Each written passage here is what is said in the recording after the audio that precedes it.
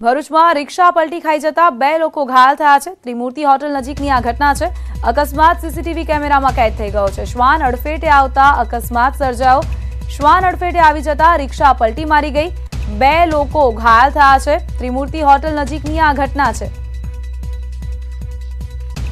CCTV footage પણ સામે આવ્યા છે કેવી રીતે શ્વાન અચાનક અડફેટમાં આવી જતા આખે આખી રિક્ષા પલટી ખાઈ જાય છે બે લોકો જે અંદર સવાર હતા તેઓ ઘાયલ થયા છે ત્રિમૂર્તિ હોટલ નજીક આ ઘટના બની હતી અકસ્માતના સીસીટીવી ફૂટેજ પણ સામે આવ્યા છે હોટલની બહારના વિસ્તારમાંથી આ સીસીટીવી ફૂટેજ સામે આવ્યા છે રિક્ષા એકાએક પલટી ખાઈ જાય છે જેના કારણે બે લોકો ઘાયલ થાય છે